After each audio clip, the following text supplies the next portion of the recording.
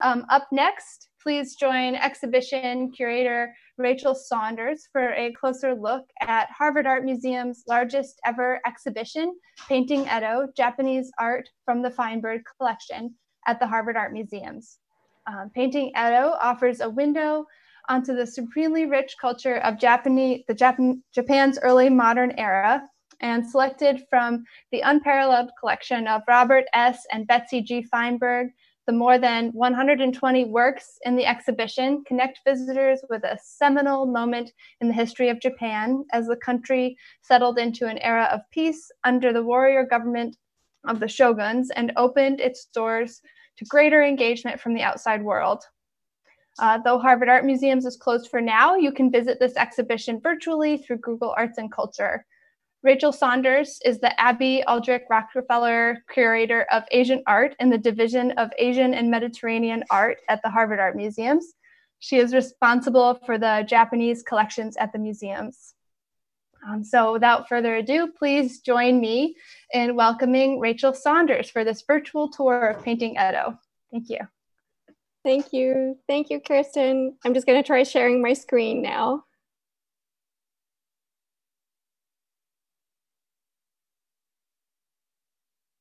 All right. Well, thank you, Kirsten, for that introduction. And um, wow, a, hard act to follow, I have to say. I'm so honored to, to be here with you this evening, um, taking part in uh, uh, Stream Fest. Uh, as Kirsten said, my name is Rachel Saunders. I'm the curator of Japanese art at the Harvard Art Museums. And I'm also the co-curator with uh, Yukio Lippit, professor of Japanese art history of our current special exhibition, Painting Edo, Japanese Art from the Feinberg Collection. It's really wonderful to be here this evening as part of your Stream Fest and to be virtually gathered with so many people. Probably many more people than we usually be able to bring together at one time in the physical space of the Harvard Art Museum's galleries for a tour, which I guess is one of those Zoom silver linings. It feels especially valuable to me to be able to come together like this in our continuing state or observing physical distance. I also want to say that I hope that this tour might provide a restorative moment in light of the essential and difficult work in overcoming structural racism ahead of us all. Painting Edo is the largest exhibition in the history of the museums, and it opened on February 13th, 2020, it's now, of course, temporarily closed, but you can uh, visit its digital avatars through an online exhibition and several vid video tours on our webpage.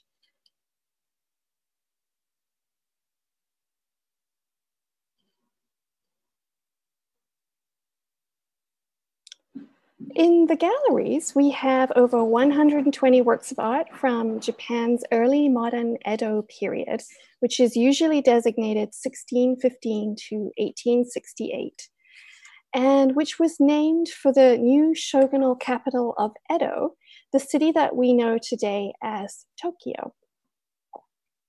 While the exhibition does offer a history of early modern Japanese painting in 10 rich chapters, what was more important for us was to attempt to offer an immersive experience of seeing differently.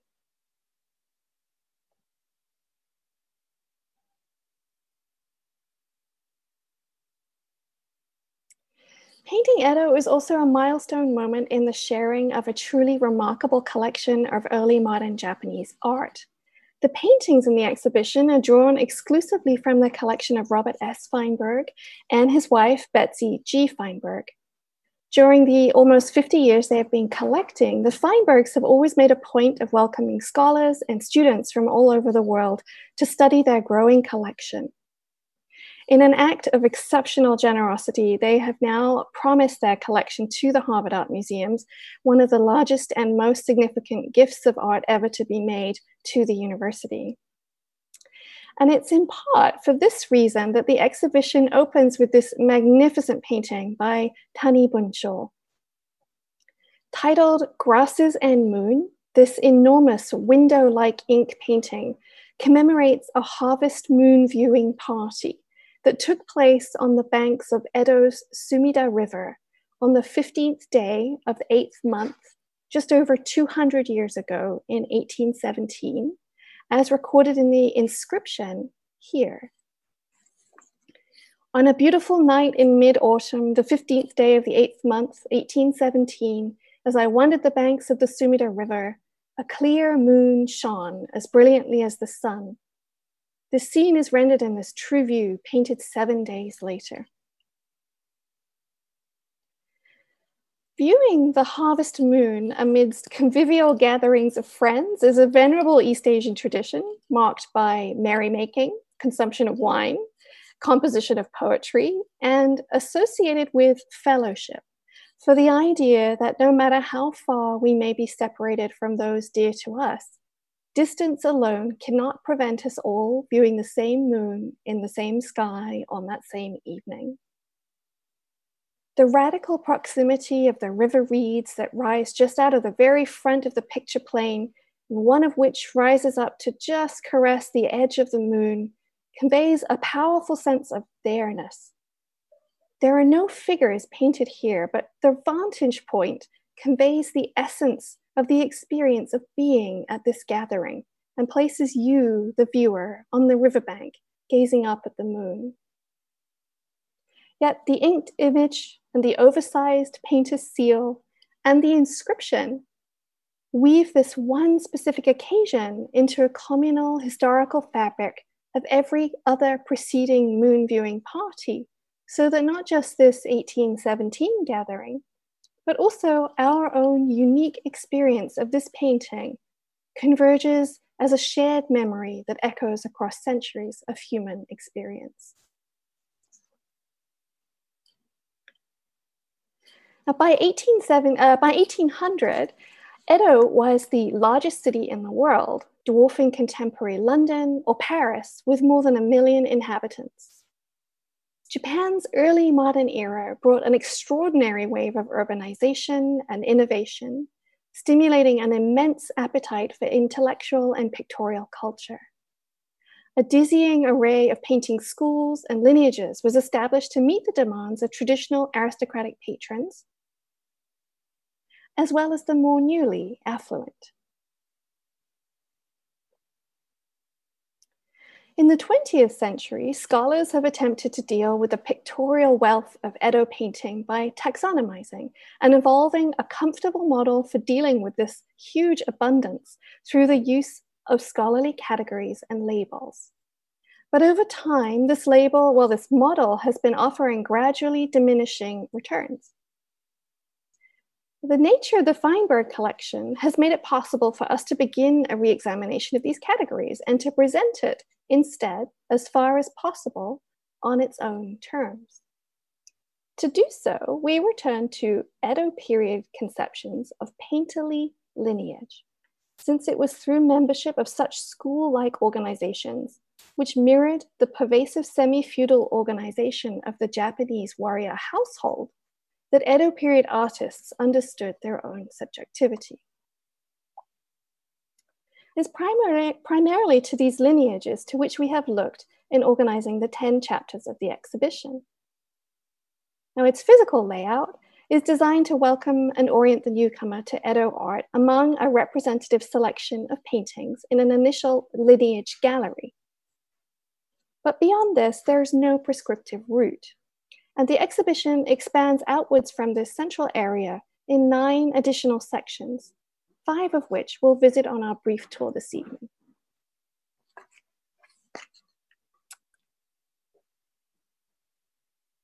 Now, the first of these sections is the floating world section of the exhibition. Now, here we encounter paintings that encapsulate not so much the new and closely regulated urban world of the military city of Edo as experienced by day by its inhabitants, but paintings of the new urban fantasy worlds that grew up as spaces for leisure and release within this city. These licensed pleasure quarters were effectively cities within cities, where theaters, restaurants, and bordellos were located. It was here in these so called floating worlds or ukiyo in Japanese, that class restrictions could be temporarily relaxed. Their celebrities were pictured as elegantly dressed fashion leaders, painted against blank backgrounds that invite the viewer to supply the missing narrative the who, the why, the where, increasing your sense of engagement with the fantasy pictured. Here, for example, we have a painting of a beautifully dressed woman sitting alone, leaning against some lacquer boxes. Her hair is pinned up in a complex style, and she casually wears several layers of beautifully decorated silk robes spilling around her. She holds in one hand a narrow slip of paper, the type of paper that was made specially for writing poems on. And in her other hand, she holds the tip of her writing brush pressed to her lips, as she seems to be thinking about what to write. Above her floats a poem written in two columns of Chinese characters. Thinking of you, compelled to compose a verse, under the lamplight, writing through the night of our lost years.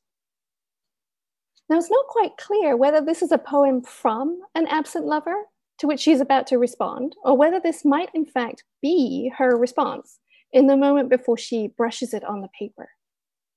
The poem plays with the trope of the absent lover, usually a scholar official posted to some distant region. But in fact, we can see that this beauty is not quite alone. An enormous carp with golden eyes swims in the lively water, waters of her outermost robe, looking up at her.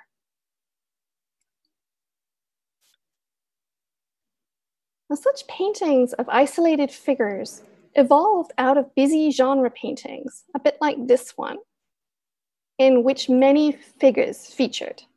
Now, this is a pair of screens depicting the arrival of the first foreigners in Japan, the Portuguese, who arrived in 1543. A great deal of attention is given to details of the ship and its crew, as well as its cargo of exotic trading goods. And here we see the procession of the ship's captain into town, with Japanese townspeople inside storefronts peering out at the foreigners with their pinkish complexions, their high noses, their extraordinary hats, and their fantastic baggy trousers. In the School of Korin section of the exhibition, we have works in the globally influential mode of colorful painting, often called rinpa, produced by painters who followed in the footsteps of a 17th century painter named Ogata Korin. It was works like these that, when they arrived in Europe in the late 19th century, spurred the development of movements like Art Nouveau, for example.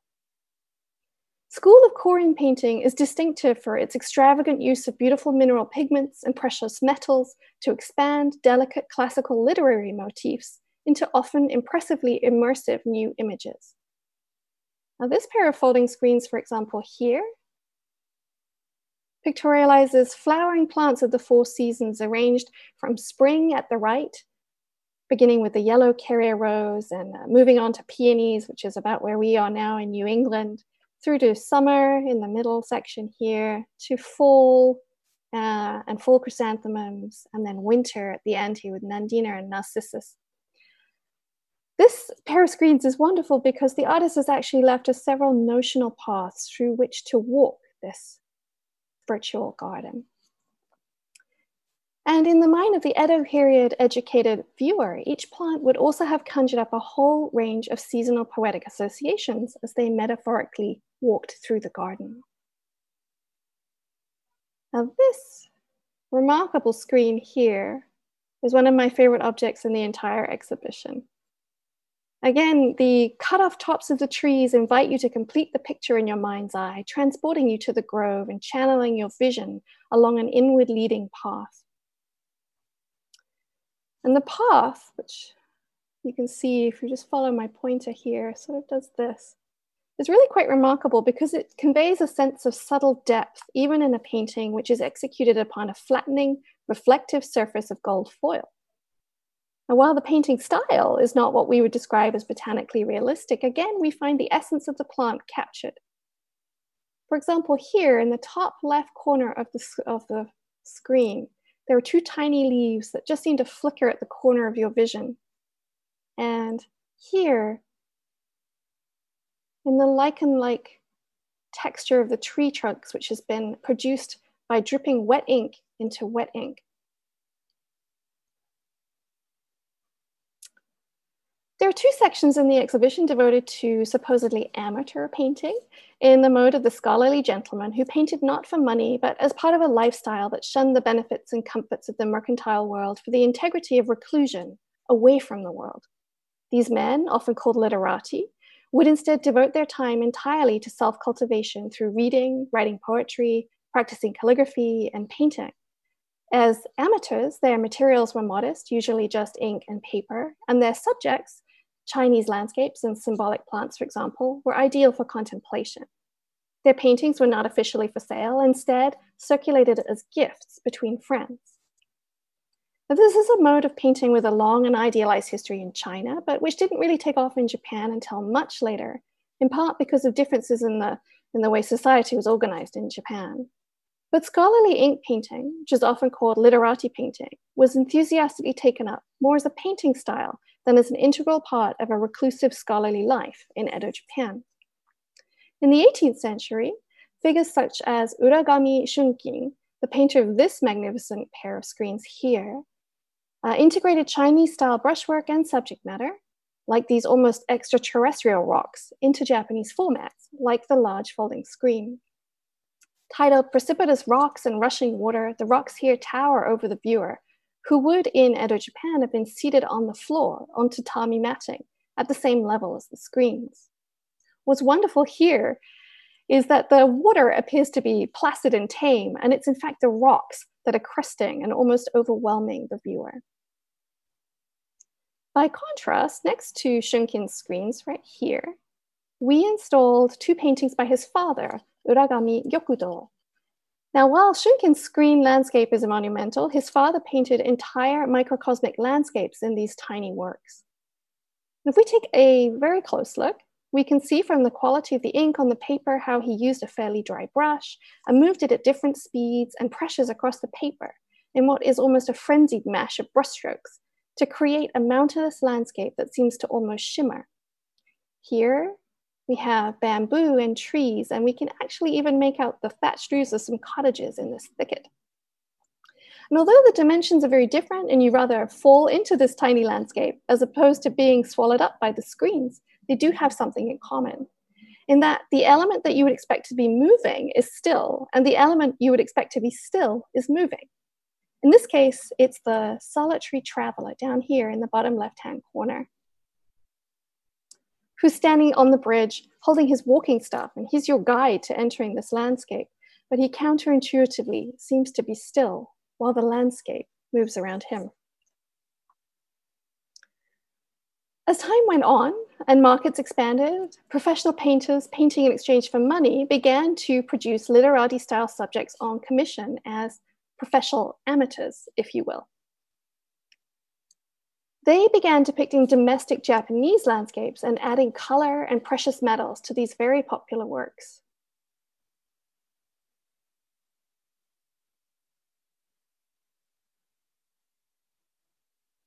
As is the case in this pair of screens by the painter Yamamoto Baitsu, depicting two famous Japanese beauty spots near the city of Kyoto. On the right, we have Arashiyama, which is famous for its riverside cherry blossoms in spring. And on the left, we have Mount Takao, which is famous for its autumn maples. While the sites had been celebrated as timeless beauty spots in Japanese poetry for centuries, Edo period painters like Baitsu began to invest them with realistic and contemporary vignettes, something like this. So here we get to see these, this group of scholarly men enjoying an outdoor picnic together and nearby a little attendant who's busy collecting mushrooms. The final gallery of the exhibition is devoted to fan paintings, which are represented unusually strongly in the Feinberg collection. And as you can see, there are folding fans on ribs in this gallery, uh, which were used as elegant accessories for cooling oneself and as gifts and in dances and rituals of various kinds.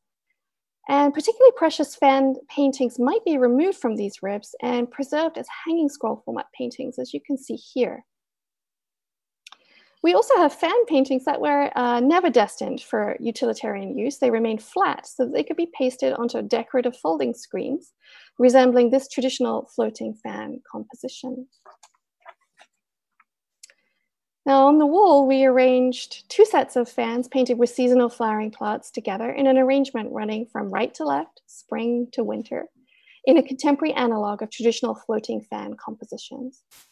Now, the floating fan format is rumored to have had its origins in the practice of gathering on a bridge to celebrate the end of the heavy heat of summer and the relief of the beginning of autumn by elegantly disposing of one summer fan by tossing it from the bridge so that these beautiful objects might float away together on the river below in an exquisitely poignant cluster. Thank you for joining me today on this virtual tour. I hope it's given you at least a taste of the ways in which these paintings both reflected and constructed Edo for their contemporary viewers, and which continue to influence and alter and enhance our vision today. We at the Harvard Art Museums look forward to welcoming you back in person. And in the meantime, please do keep a lookout for new online content on our webpage to help you access the museums from home. Thank you.